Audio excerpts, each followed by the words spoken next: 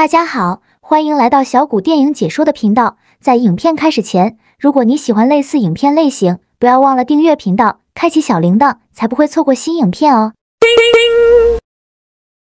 冰山是一位游戏软件开发的高手，生活中酷爱篮球。胡椒与小黑都是冰山开发团队的同事，也都是篮球的狂热爱好者。新的公司 CEO 上任，并带来一个好消息：公司即将全力开发一款高端篮球游戏《神奇》。但是原来的开发团队中，只有冰山一人可以继续留下来，原有的团队必须解散。面临好友被辞退，冰山也不想继续留下来。可是与胡椒、小黑共同创业的原始资金却远远不够，而原公司开出的成功开发《神奇》后的奖金却是相当诱人。于是冰山决心为公司开发《神奇》。当神奇即将要对外发布之际，冰山却发现目前的神奇仍然存在漏洞，会对玩家造成神经损害，因此他坚决反对神奇如期发布，并与 CEO 产生巨大的分歧。此时，女友伊林与 CEO 之间的暧昧关系也被他发现，一时间情感、事业、生活的种种矛盾困扰着他。CEO 仍然一意孤行，如期发布神奇，冰山也决计通过各种手段拆开谎言，与商业利益的追逐者展开一场高智力、高科技的决斗。